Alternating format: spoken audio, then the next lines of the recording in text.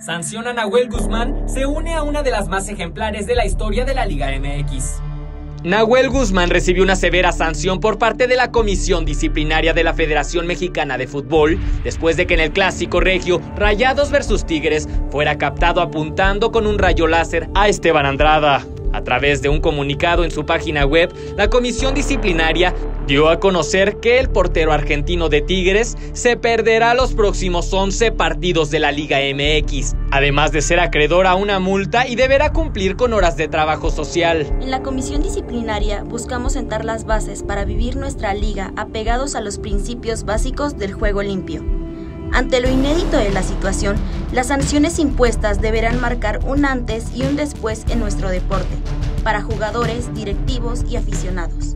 Inicia diciendo el comunicado de la comisión disciplinaria que detalla que Nahuel transgredió el reglamento de la Federación Mexicana de Fútbol en cuatro incisos de los artículos 18 y un inciso del artículo 71. Pues Nahuel está muy arrepentido, él ya lo manifestó.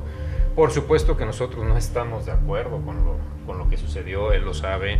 Se me hace, eh, pues ahora sí que una falta de respeto, el simple hecho que como una cuestión ética después de 30 años que llevo en el medio y también hacia la institución que se insinúe que nosotros pues sabíamos, conocíamos eh, o estábamos detrás de esto, ¿no? Hasta el momento, fuentes revelan que el castigo económico del arquero de Tigres es superior al millón de pesos, además de al menos otros 500 mil pesos de multa por parte de la Liga MX mientras que la directiva de Rayados espera que la comisión tuviera mano dura contra Nahuel Guzmán con una sanción deportiva de seis meses a un año. En el mismo comunicado de la comisión disciplinaria detalló que el club felino recibió una sanción económica por cada conducta inapropiada de sus aficionados y sus empleados y por una publicación realizada en sus redes sociales y medios de comunicación, mientras que Andrada fue multado por insultar a Nahuel Guzmán en sus redes sociales y Monterrey por no garantizar la seguridad en su estadio y por la conducta inapropiada de los grupos de animación y el público en general.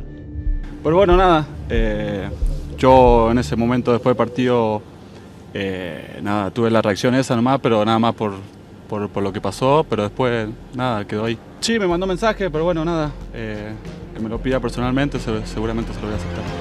Para Expresa TV, Antonio Álvarez.